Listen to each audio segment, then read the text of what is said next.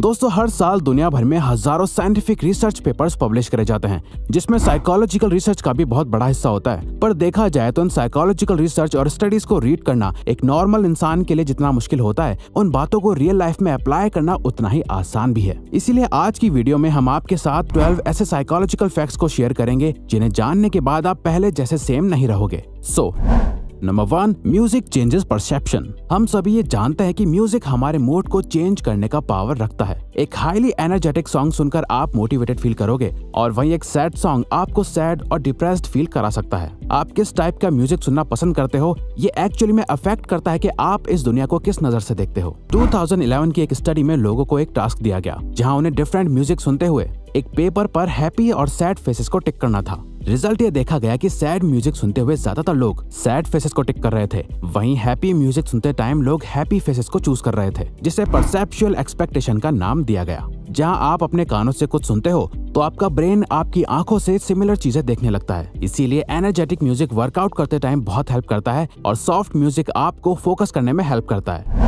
Dunning Kruger effect 1999 में दो social psychologist ने ये डिस्कवर करा कि इंटेलिजेंट लोग हमेशा अपने आप को एक बिलो एवरेज पर्सन की तरह ट्रीट करते हैं। वो कभी भी खुद को बाकियों से ज़्यादा स्मार्ट नहीं मानते। वहीं दूसरी तरफ़ एवरेज आईक्यू वाले लोग इसका बिल्कुल ऑपोजिट करते हैं। उन्हें हमेशा ये लगता है कि वो बाकियों से ज़्यादा बेटर है। इसीलिए अगर आप ऐसे लोगों से मिलो जो हर बात में खुद को सुपीरियर शो करते हैं, जो ये दिखाते हैं कि वो कितने ज़्यादा स्मार्ट है तो समझ जाओ कि ये बस एक डनिंग क्रूगर इफ़ेक्ट का असर है। वो असल में इतने इंटेलिजेंट नहीं है जितना वो दिखा रहे हैं, क्योंकि एक हाईली इंटेलिजेंट पर्सन कभी भी अपनी नॉलेज से सेटिस्फाइड नहीं होता। वो हमेशा खुद की एबिलिटी पर डाउट करता है, क्योंकि उन्हें लगता है कि वो और बेहतर हो सकता है। फॉर एग्ज़ाम्पल आपने अक्सर ये तो देखा ही होगा, जो दोस्त ये कहता है कि उसने एग्ज़ाम के लिए कुछ नहीं पढ़ा, वो बिल्कुल प्रिपेयर होके नहीं आया था। मोस्टली केसेस में उसी फ्रेंड के अच्छे मार्क्स आते हैं, जबकि उसने बोला था कि मेरा एग्ज़ाम अच्छा नहीं गया, मैं और अच्छा कर सकता था, क्योंकि मानो या ना मानो, वो सच में थोड़ा ज़्यादा इंटेलिजेंट पर्सन है। सिंगिंग रिड्यूसेस एंजाइटी इमेजिन करिए आप अपनी कार ड्राइव करते हुए अपने काम पर जा रहे हैं, जहाँ आपको एक इम्पोर्टेंट प्रेजेंटेशन डिलीवर करनी है। सो so नेचुरली आप नर्वस और एंक्शियस फील करोगे। तो ऐसे मोमेंट में आप अपने आप को काम कैसे रखोगे?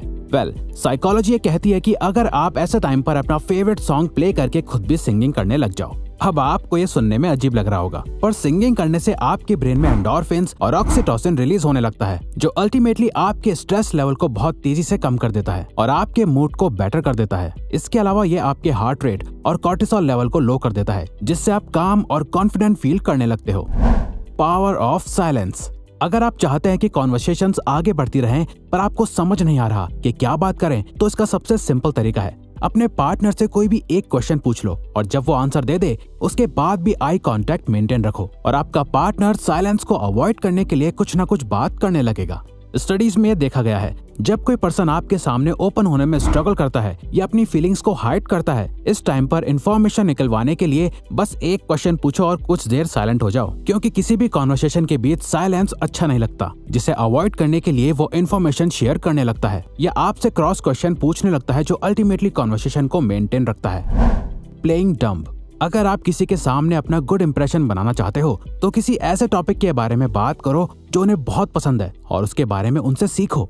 फॉर एग्ज़ाम्पल आप किसी से मिले जिसे कार्स में बहुत इंटरेस्ट है। अब हो सकता है कि आपको भी कार्स के बारे में बहुत नॉलेज हो, पर उनके सामने ऐसे प्रटेंड करो जैसे आपको उनसे कम नॉलेज है और उनसे क्वेश्चंस पूछो जो सामने वाले पर्सन को कॉन्फिडेंट और स्मार्ट फील कराएगा। और वो आपसे बात करने में और इंटरेस्ट शो करेंगे। क्योंकि वो जिस बारे में बात करना चाहते हैं, आप उसमें अपना इंटरेस्ट शो करते हो, जो आपको एक लाइकेबल पर्सन बनाता है। और वैसे भी दलाई लामा का कहना है की, जब आप बात करते हैं तो आप केवल वही दोहरा रहे होते हैं जो आप पहले से जानते हैं। लेकिन अगर आप सुनते हैं तो आप कुछ नया सीख सकते हैं। द स्नैक मैन अगर आप किसी ग्रुप में हैं या किसी एक पर्सन के साथ भी हैं, जहाँ आप डिनर या लंच पर मिलने आए हो और आपको लगता है कि कोई कंफ्लिक्ट क्रिएट होने वाला है, आपकी कॉन्वर्सेशन जैसे जा रही है, आप लोगों की लड़ाई हो सकती है। तो इस सिचुएशन को अवॉइड करने के लिए अपने सामने रखा खाना खाने लग जाओ, क्योंकि अकॉर्डिंग टू साइकोलॉजिस्ट ईटिंग एक कामिंग एक्टिविटी है। जब लोग कुछ खा रहे होते हैं तो बाकी लोग उस एनवायरमेंट में कंफर्टेबल फील करते हैं। तो जब भी आपको लगे कि कोई बहुत ही अग्रेसिव हो रहा है, या आप लोगों की बहस होने वाली है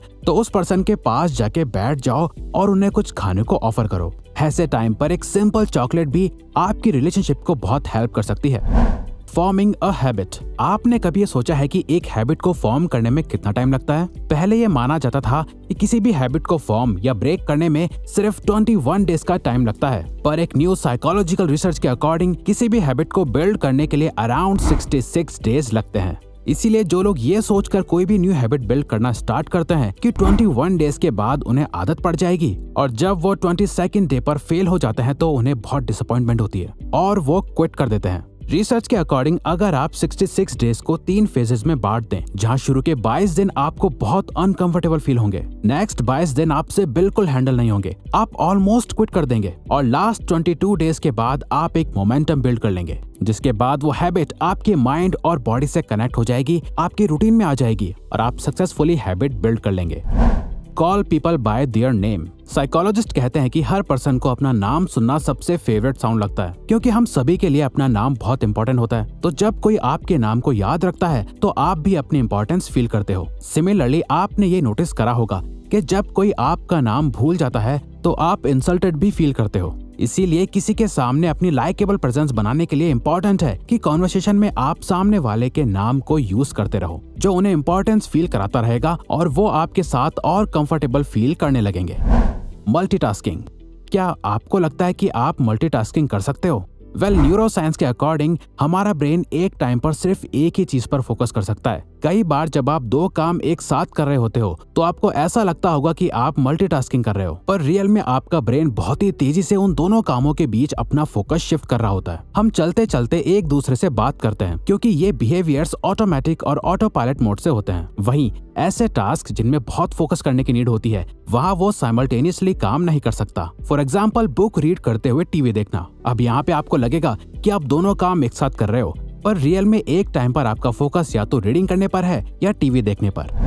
प्रोवाइड अ चॉइस अगर आप चाहते हैं कि सामने वाला पर्सन एक डिसीज़न ले जो आपके फेवर में हो तो सिंपली उन्हें ऑप्शंस दो जो आपके डिसीज़न के फेवर में हो। फॉर एग्ज़ाम्पल अगर कोई अपने बच्चे को पढ़ाई करने के लिए बोलना चाहता है तो सिंपली उसे ये बोलने के बजाय कि जाओ पढ़ो, उन्हें चॉइस दो कि चलो पढ़ाई का टाइम हो गया। पहले इंग्लिश पढ़ोगे या मैथ्स तो जब वो कोई भी चॉइस लेंगे तो उन्हें लगेगा कि वो खुद ये डिसीज़न ले रहे हैं। वो अपने कंट्रोल में है। अब ये ट्रिक आप किसी के भी साथ यूज़ कर सकते हो। जैसे आपने नोटिस करा होगा कि हर रेस्टोरेंट में वेटर्स इसी ट्रिक का यूज़ करते हैं। वो आपको वो सारे ऑप्शंस देते हैं जो वो चाहते हैं कि आप ऑर्डर करो। और आप इनडायरेक्टली वही करते हो। पर आपको ऐसा लगता है कि वो डिसीज़न आपने लिया।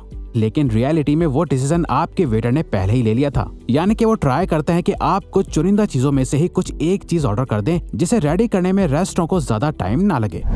द पावर ऑफ़ सनलाइट दोस्तों, आपने भी नोटिस करा होगा कि पूरा दिन अपने घर या ऑफ़िस में बिताने के बाद जब आप बाहर निकलते हैं तो इंस्टेंटली आपका मूड बेटर हो जाता है, क्योंकि सनलाइट के बेनिफिट सिर्फ़ मेडिकल फील्ड्स में नहीं है, जो सिर्फ़ आपकी बोन्स के लिए बेटर है। बल्कि कई रिसर्च में देखा गया है कि सनलाइट कई मूड डिसऑर्डर्स जैसे डिप्रेशन को भी प्रिवेंट करता है। सनलाइट से मिलने वाला विटामिन डी मूड स्टेबिलाईजर की तरह एक्ट करता है, और हमारे ब्रेन में प्लेजरेबल हॉर्मोन्स को रिलीज़ करता है। और ये देखा गया है कि जिन कंट्रीज़ में सनलाइट की रीच कम होती है, वहाँ के लोगों में डिप्रेशन के ज़्यादा सिम्टम्स देखे जाते हैं। तो आपको बस दिन में दस मिनट डायरेक्ट सनलाइट लेनी है, जो लिटरली आपकी लाइफ को चेंज कर देगा और ये मॉर्निंग सनलाइट होगी तो और भी अच्छा।